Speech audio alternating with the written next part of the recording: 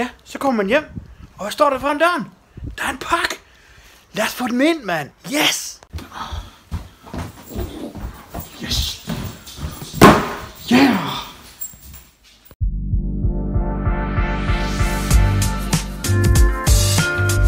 Preview.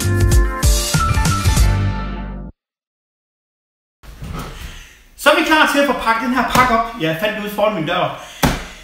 Jeg er lidt spændt på, hvad det er. Øh, Jeg skal jo i gang med at teste noget for NZXT. Øh, Det har jeg været i gang med. Det er deres Krinken øh, X62. Øh, det er deres CPU-køler, hvor der er masser masse farvespil og sådan noget. Og jeg tror, det er fra dem af. Men lad os lige kigge. Det her, det er så øh, de blæser, som man kan få til det. Dem havde jeg så troet, de var på selve den her køler her. Men det er noget, man skal købe til siden af, hvis man skal have RGB-lys. Men lad os lige se, hvad der er her i. Hold op, der er alt muligt. Så er der noget, som ikke er for dem. Det tager vi lige senere, hvad det er. Det er til en af vores nye skribenter, der skal til at lave det. Men lad os lige se, hvad der er hernede. Se. Nej. Kan I se, hvad der er? Det er en uh, Hue Extensions Kit. Det er to LED-strips, som man så får lys i. Og så har vi en pakke her. Og så en masse snoller. Nej, hvor lækkert. Så. Det er den her. Hov, lad os lige se tager bare alt det væk. Kan I se, hvad det er? NZXT. Og det den hedder AER RGB 140. Det er 140 mm blæser. Der er to styks.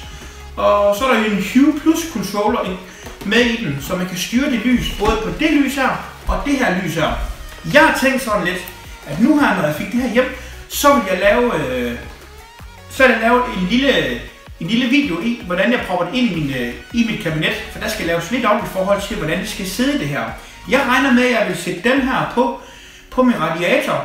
Det regner jeg med, men lad os nu se, når vi får det ind i kabinettet. Og det her lys her, skal jeg så finde ud af, hvor det giver den bedste lyseffekt ind i mit kabinet.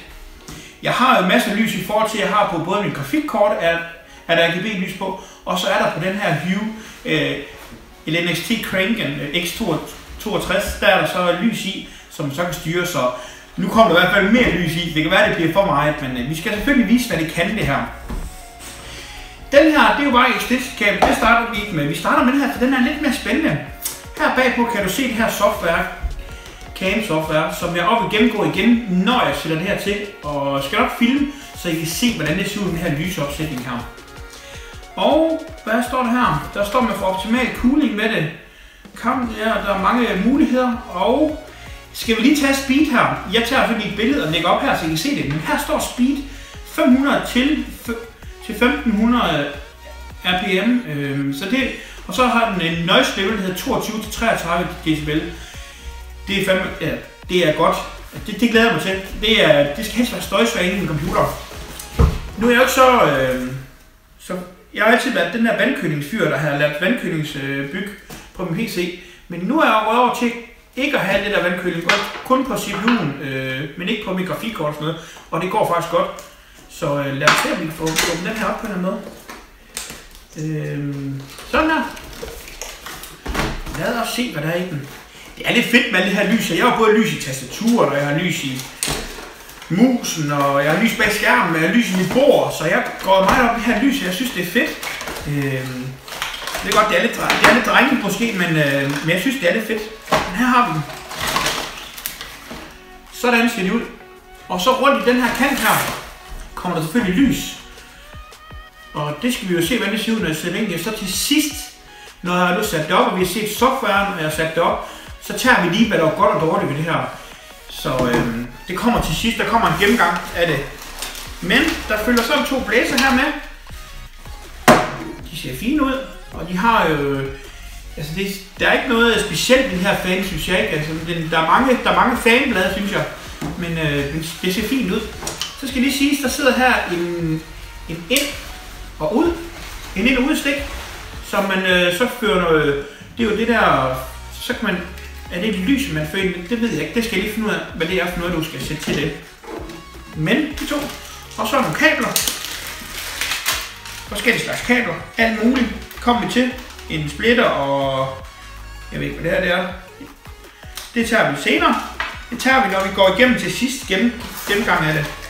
Så er der en lille manual med til her, hvor man kan se, her kan man faktisk se, hvad alle de her de stik, de er til. Der er forskellige slags stik. Så vi skal vi se, om vi kan få installeret en i den her fine... Har vi mere i kassen? Er der med i? Nej, der er ikke med en. Nej, det er jo lige før, det er jo, øh, det er jo jul, ikke? Så må man godt pakke gaven op. Eller må man? Skal man vente? Ah, Lad os lige få den her og se, hvad det er. Altså, jeg tror, jeg tror godt, folk de kender det her med det her... Øh, øh, så ser jeg på den op. Det er jo sådan LED-strips, som du så kan styre, og du kan... Hver eneste diode kan du selv bestemme, hvordan skal, skal lyse. Så det er jo lidt anderledes for almindelig øh, i forhold til det, jeg har bag mit bord og bag min skærm. Der kan jeg jo ikke selv styre, hvad hver eneste LED skal, skal gøre. Her kan du selv styre det hele. Det tager vi i softwaren lige bagefter, når jeg har fået pakket det her op, hvis det er muligt at pakke op for mig. Sådan. Nu sker der noget. Ja. To LED-strips med magnet, skal det så lige siges. Ej, det er fedt. Det er fedt, fordi så kan man bare lige, så behøver man ikke at tage det her af. Her er det der 3M, det hedder så 200 MP, MP tape, der sidder, som, som holder det her godt klister på. Men ellers så er der magnet, hvis man nu vil flytte rundt på det og sådan noget, man ikke er helt sikker på, hvor det skal hænge, så er man mulighed for det. Og der er også nogle kabler med, som skal ned i den her fine boks, hvor der er nogle forskellige udgange herom, 1 og 2, og så er der USB, og så skal den have noget strøm. Det får den så fra det stik her. Yes. Det var lige, øh, jeg kunne simpelthen ikke vente med at åbne det her. Det skulle jeg simpelthen se, hvad det var for noget, for det er, det er sådan lidt, lidt glædet mig til at se, og jeg er spændt på, hvad det ser ud med dem her. Men øh, nu vil jeg prøve at sætte op, så vi kan lave en lille video af dem, når jeg så sætter det. Jeg kan være, at jeg spoler gennem videoen. Det er ikke så sjovt at se alt, hvad man gør, fordi det er jo ikke så, det er ikke så svært at sætte dem her i. Det er jo bare at skrue dem, skrue dem på, så det ved jeg ikke, om det er så sjovt. Men, øh, men så ses vi lige i softwaren. Den tager vi nu her bagefter. Hej hej. Hej. Så er vi lige kommet til det her, hvor vi lige skal runde af med de her blæser fra NZXT. Det er deres AER 140 mm. Jeg har lånt to af dem, og så har jeg lånt øh, to LED-strips fra dem om. Og det er så monteret i min computer, så nu er der i hvert fald fuld skrald på det her LED-lys. Til at styre det her, ja, det her lysshow, man kan lave på de her blæser, så bruger jeg stadigvæk deres CAM-software, som jeg også bruger på CPU-køleren, øh, som sidder derinde nu. Jeg vil lige prøve at slukke for det hele. Øh, sådan her ser det ud, når der ikke er tændt LED-strips eller lysene på selve blæserne. Blæserne, dem tænder jeg i sofaen, og der har man mulighed for at styre jamen simpelthen alt. Alt ligesom der er på deres køler og deres LED-strips. Du kan styre alle lysene hele vejen rundt i hele cirklen på selve blæserne. Man kan vise en masse forskellige, men lige nu der kører den bare med det her spektrum, og du kan selvfølgelig lave alle mulige forskellige farver. Da jeg har monteret dem, har jeg monteret dem, der er sådan nogle noise reduction på, man kan sætte på, så kører blæseren længere ned i hastighed. Dem har jeg sat på, og de giver en, en fin nok køling ind i mit kabinet, øh, og de larmer ikke besynderligt meget i forhold til de silent wings, der sidder der i forvejen. Det, der er fedt ved dem her, det er jo selvfølgelig det her med det her lys her. Øh, hvis man er til en masse, masse LED-lys inde i sit kabinet, så er det en god ting.